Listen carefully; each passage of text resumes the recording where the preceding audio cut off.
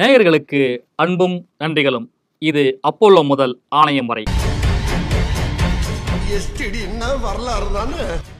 அப்போலோவில் அனுமதிக்கப்பட்ட பிறகே ஜெயலலிதாவுக்கு அதாவது செப்டிசீமியா இருப்பதை கண்டறிந்தார்கள். செப்சிஸ் என்றால் என்ன? நுரையீரல் சிறுநீரக பாதை செரிமான மண்டலத்தில் பாதிப்பை ஏற்படுத்தும் பாக்டீரியா கிருமிகள் இரத்தத்தில் கலந்து நஞ்சை வெளியிடும். இந்த இரத்தம் உடல் உறுப்புகளை பாதித்து இரத்த அழுத்தத்தை குறைத்து உறுப்பு செயல்பாட்டை மட்டுப்படுத்தும் கட்டுப்படுத்த முடியாத காய்ச்சல் தான் இதன் தொடக்க அறிகுறி. முதலில் பாதிக்கப்படும் உறுப்பு நுரையீரல் தான். பெரும்பாலும் வயது முதிர்ந்தவரிடமும் அல்லது சிறு குழந்தைகளிடமும் இது அதிகம் காணப்படும். இந்த செப்சிஸ் பிரச்சனைக்கு சிகிச்சை அளிப்பதில் நிபுணர் தான் London doctor Richard John Beale. லண்டனின் புகழ்பெற்ற செயின்ட் தாமஸ் மருத்துவமனையின் கிரிட்டிக்கல் கேர் மற்றும் வலி தொடர்பான சேவை அறுவை சிகிச்சைக்கு பிந்தைய முந்தைய சேவை பிரிவின் இயக்குநராக பணியாற்றி வருகிறார் ரிச்சர்ட் பேல். திடீர் நுரையீரல் பாதிப்பு செப்சிஸ் பாக்டீரியா தொற்று இரத்தத்தில் கலப்பதால் ஏற்படும் பாதிப்பு நுரையீரல் பாதிப்பு காரணமான அளிக்கப்படும் செயற்கை சுவாசம் ஒன்றுக்கு மேற்பட்ட உடல் உறுப்புகள் செயலிழந்தவர்களுக்கான சிகிச்சையில் ரிச்சர்ட் பேல் எக்ஸ்பர்ட். உலக அளவில் செப்சிஸ் பற்றி ஆராய்ச்சி முடிவுகளை ஆய்வு செய்பவர் லண்டனில் புகழ்பெற்ற கிங்ஸ் கல்லூரியில் அவர் சிகிச்சை மருத்துவ பேராசிரியராக இருக்கிறார். ஜெயலலிதாவுக்கு அளிக்கப்படும் சிகிச்சை தொடர்பாக அப்போலோவில் தினமும் விளக்கம் அளிக்கும் கூட்டங்கள் நடந்து வந்தன. அப்படித்தான் இரண்டாயிரத்தி பதினாறு செப்டம்பர் இருபத்தி எட்டாம் தேதி கூட்டம் நடந்தது. அதில் பேசிய அப்போலோ தலைவர் டாக்டர் பிரதாப் ரெட்டி முதல்வர் செப்டிசீமியாவால் பாதிக்கப்பட்டிருப்பதால் சுவாசிக்க சிரமப்படுகிறார். செப்சிஸ் தொற்றுக்கு சிகிச்சை அளிக்க லண்டனில் இருந்து ரிச்சர்ட் பேலை வரவழைக்க ஏற்பாடு செய்திருக்கிறோம் என சொன்னார். அதன்படிதான் ரிச்சர்ட் பேல் இரண்டாயிரத்தி பதினாறு அக்டோபர் ஒன்னாம் தேதி அன்று ஜெயலலிதாவை பரிசோதித்து மருத்துவ குழுவுடன் விவாதித்து அப்போலோ சிகிச்சையை ஏற்றுக்கொண்டார். டாக்டர் சிவகுமார் அளித்த சாட்சியத்தில் ரிச்சர்ட் பியலின் முதல் வருகையின் போது லண்டன் மருத்துவமனைக்கு ஜெயலலிதாவை மேல் சிகிச்சைக்காக அழைத்து செல்லலாம் என்று சொன்னார். இரண்டாவது வருகையின் போது ஜெயலலிதா சைகையில் அவர் யார் என்று கேட்டார். ரிச்சர்ட் பியல் ஜெயலலிதாவிடம் நீங்கள் மாநிலத்தின் பாஸாக இருக்கலாம். ஆனால் மருத்துவமனைக்கு நான் தான் பாஸ் அதனால் என் பேச்சை தான் நீங்கள் கேட்க வேண்டும் என சொல்லியிருக்கிறார் ரிச்சர்ட் பேல். உடனே ஜெயலலிதா அவரை பார்த்து சிரித்தபடியே நீங்கள் பாஸ் இல்லை நான் தான் பாஸ் என்று அடையாளம் காட்டும் விதமாக தனது கட்டை விரலை உயர்த்தி காட்டி அந்த நேரத்திலும் தனது அதிகாரத்தை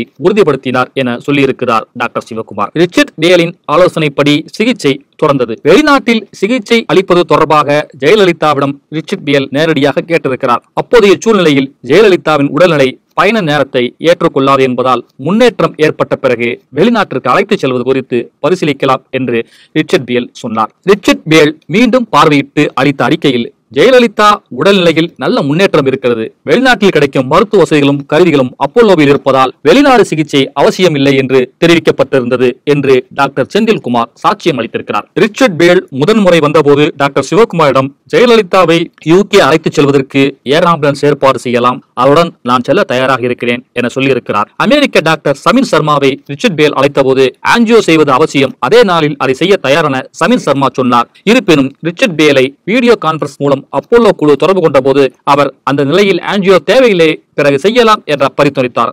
அதன்படி சமீர் சர்மா ஜெயலலிதாவுக்கு ஆன்ஜியோ செய்யாமல் சென்றார். ரிச்சர்ட் பியலை விசாரணை செய்ய ஆறுமுகசாமி ஆணையத்தால் முயற்சிகள் மேற்கொள்ளப்பட்டன. அவரது வசதியான நாளை குறிப்பிடும்படி ஆறுமுகசாமி ஆணையம் கேட்டது. சொந்த சிரமங்களை மேற்கோள் காட்டி ஆஜராவதற்கான இயலாமையை ரிச்சர்ட் பிகல் தெரிவித்தார். வீடியோ கான்பரன்சிங் மூலமும் சாட்சியம் அளிக்க இயலாது என்றும் சொன்னார். சூழ்நிலைகள் மற்றும் செலவுகளை கருத்தில் கொண்டு ரிச்சர்ட் பேலை ஆணையம் அதற்கு மேல் வற்புறுத்தவில்லை. ஆனால் இங்கே ஒரு விஷயத்தை நாம் கவனிக்க வேண்டும். ஜெயலலிதா மறைவுக்கு பிறகு சசிகலா முதல்வராக முயன்றார்.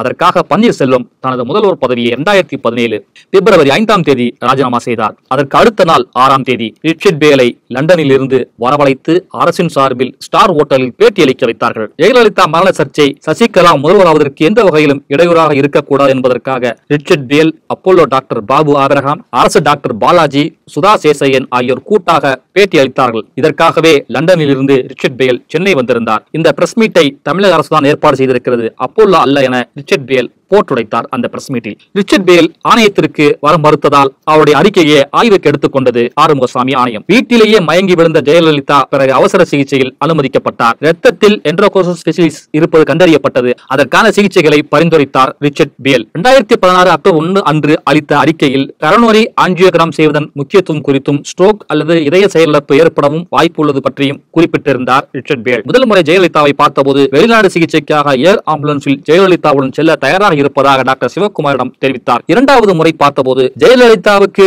உடல்நலம் முன்னேற்றம் அடைந்துள்ளது. அதே சிகிச்சையை தொடரலாம் என்றும் தெரிவித்திருக்கிறார். இருபத்தி ஐந்து பதினொன்று இரண்டாயிரத்தி பதினாறு அன்று அமெரிக்க டாக்டர் சமீர் சர்மா ஆன்ஜியோ செய்ய தயாராக இருந்தார். டாக்டர் பாபு அபிரகாம் ரிச்சர்ட் டேலை தொடர்பு கொண்டு அறுவை சிகிச்சையை ஒத்திவைக்க ஒரு குறுக்கு வழியை கண்டுபிடித்தார். ஜெயலலிதாவின் உடல் நலம் இப்போது முன்னேறி வருகிறது என்று டாக்டர் சமீன் சர்மாவிடம் தெரிவித்தார். அதனால் ரிச்சர்ட் பேல் ஆன்ஜியோவை ஒத்திவைக்க பரிந்துரை செய்ததாக பாபு ஆபரகாம் சொன்னாலும் அப்படி கூறியதற்கான எழுத்துப்பூர்வ ஆதாரம் எதுவும் மருத்துவ குறிப்பேடுகளில் குறிக்கப்படவில்லை. இந்த வகையில் டாக்டர் பாபு ஆபரகாம் ரிச்சர்ட் பேலை சாக்கு போக்கு காட்டி ஜெயலலிதாவுக்கு அளிக்கப்பட இருந்த ஆன்ஜியோ சிகிச்சையை ஒத்திவைக்க ஒரு தந்திரம் செய்தார். இதனால் தான் ஜெயலலிதாவுக்கு இந்த சிகிச்சை மேற்கொள்ளவில்லை. அதுவே அவரது துரதிருஷ்டவசமான மரணத்திற்கு காரணமாகிவிட்டது என ஆணையம் பதிவு செய்திருக்கிறது. இதன் பிறகு என்ன நடந்தது என்பதை அடுத்த எபிசோட்டில் காணலாம். ஜெயலலிதா மரணத்தின் மர்மத்தை அவிழ்க்கும் ஆறுமுகசாமி ஆணைய அறிக்கையில் என்ன இருந்தது? அதில் உள்ள விஷயங்கள் அதிர்ச்சி தகவல்கள் அனைத்தையும் ஒன்று விடாமல் பதிவு செய்து வருகிறது ஆனியன் ரோஸ் சேனல். அப்போல்லோ முதல் ஆணையம் வரை தொடரில் இதை நீங்கள் பார்க்கலாம். இதற்காக இந்த சேனலை நீங்கள் சப்ஸ்கிரைப் பண்ணுங்க லைக் பண்ணுங்க ஷேர் பண்ணுங்க கமெண்ட் பண்ணுங்க. வரலாறு தானே?